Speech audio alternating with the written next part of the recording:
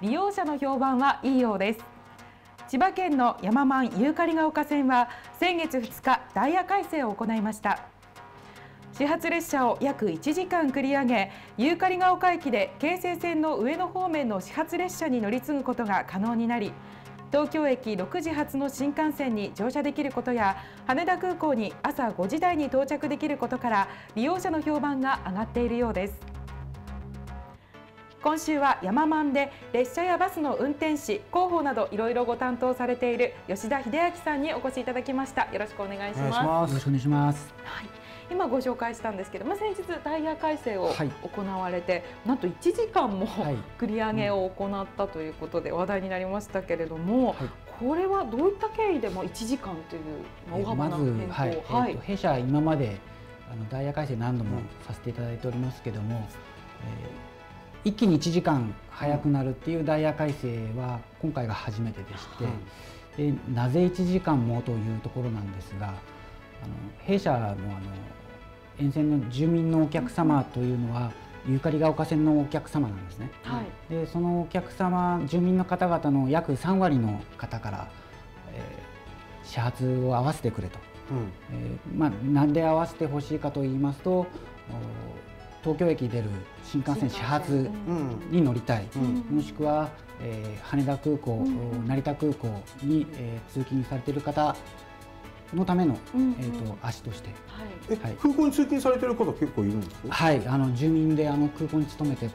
る方がはい、羽田の羽田もはい。羽田よりはまあ成田のあそうですね、はい、近いですね。はい。の勤めてる方のが多いですけども。はい。そういった事情があったんですね、でも1時間って、まあ、初めてっておっしゃいましたけれども、はい、あの会社の方も結構大変ですよね1時間も。はい、えー、私もあの現場で、えー、運転手さんも務められてる、はい、乗務をさせていただいておりますけども、はい、結構ね、え終電は何時なんですか？終車は、はい、ゆかりが丘駅発が24時22分です現在。12時半、はい。えー、あじゃあ戻ってきて12時、まあ、40分前ぐらいってことですね、はい、で始発は何ですか？始発が4時31分ですああ4時間しか空いてないですね、はい、結構幅広いですよねはい。ね。運転手さんは皆さんその、はい、えっ、ー、と今バスも運転されてるってことだったんですけど、はい、コミュニティバスも運転して皆さんどちらも運転されるいええっ、ー、と全員というわけではなくて、え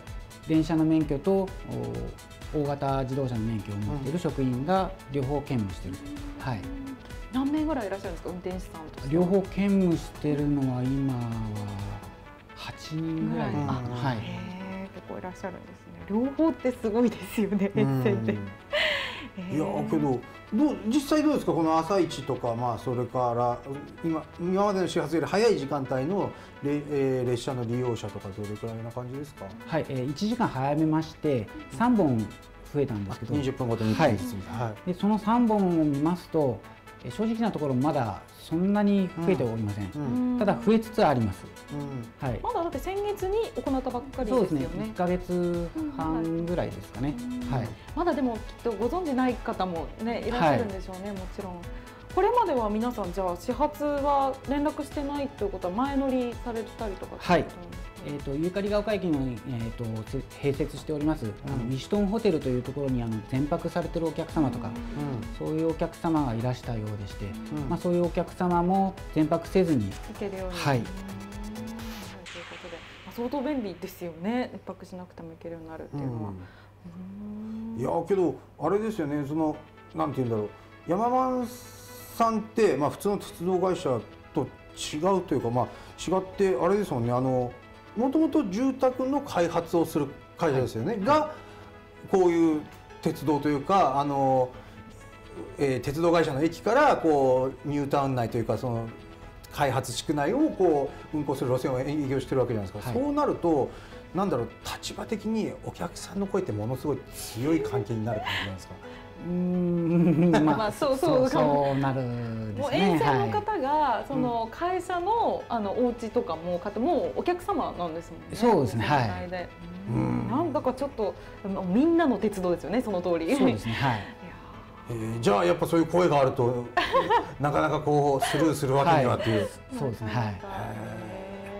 あとあの山満さんあの特に鉄道ファンの方ね人気がある路線だと思うんですけど、はい。あの特番をやった時に結構出演してくださった鉄道タレントの皆さんも山満さんって盛り結構盛り上がったりとかもして、はい。あの駅名がねなんか皆さん気になるようで、うん、駅名が雑ですよねね。雑とは言ってないですけど。いやけどだって だって公園とか中学校とかね女子大とかそういうね井のぐらいですよねまともに名前つけたなって。いうのははい、伊野はもともとのあの地名という伊野という町の名前がございますので、それ以外もう本当になんかだって地地区センターでしょ、はい。でえーっと地区センター公園女子大中学校ですもんね、はい。なんか女子大がないないのになんか女子大みたいな話。当時はなかったですそもね。うんなかった。の今もに女子大。今もはい。そうですねキャンパス時代はないですね。ないですね、はい、セミナーハウスがあるだけですね。いや合宿所みたいなことですはい、もんね、そうい。うえそれこそ住民の皆さんが使いづらいというか変えようみたいな話って出ない？んですか女子大ねえから変えな変えたくねえみたいなところないんですか？はい、えっ、と駅名を変えようという話はあのうん。はいあございました。ああるんですあ以前あった。以前ありました。へえ10年前後ぐらい前ですね。はい。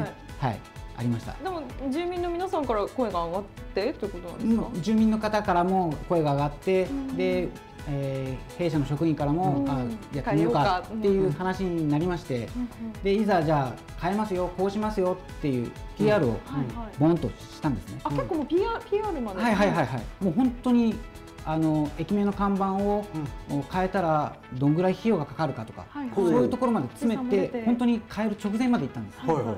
でやりますよってやったら住民からうんダメ出しをいただきまして、はいあら変えませんと頭を下げました。あそれ。はあの新しい駅名がちょももっとざもっと雑とか言っちゃう。それともなんかこうダメダメとかそういうことなんですか？ではなくてですねやっぱりやはりあの、えー住民の方からしますと、慣れ親しんだあの駅名が変わるというのが非常に嫌だと、へえはい。反対の声が、はい、いう声があのいただきまして、はいいやけどね 女子大まあ中学校は中学校あるんですけど女子大は別にキャンバスないし公園なんてねこの辺公園いっぱいあるじゃないですか。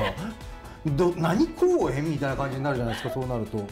それでもやっぱこのままがいいと。はい、はまあでもずっと住んでる方はねそれはそれで愛着というか、はうん、慣れ親しんじゃってたらねなかなか、まあ確かに利用する人がそれだけ反対されちゃったらねもうどうしようもないんですねそうなんですね。あるんですね。ごめんなさいねいえいえ。はい。えっ、と他にえっ、と今日お知らせができるようななんかはい。告知があればはい、お願いします。5月29日にですね、えー親子鉄道マン体験というのをおやる予定で、はい。ただいま募集をかけてございます。はい。えーで、えー、ユーキッズユーカリが丘というところで募集を、えーしておりますので、えーこちらあの検索かけていただきますと、えー応募ができるかと思います。えー、とで応募は、まあ、直接電話していただいた方が確かだと思われます。はいこちらであのイベントを予定しておりますので、いつになりますか、はい、5月29日です。29日、はい日曜日ですね。はい、募集しているということです。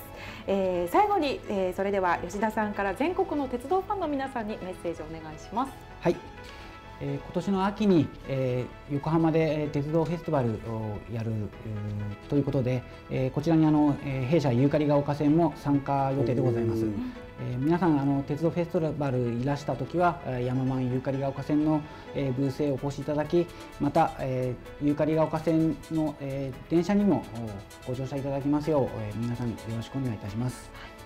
今週のゲストはヤママンの吉田秀明さんでした。どうもありがとうございましたありがとう。ございましたありがとうございました。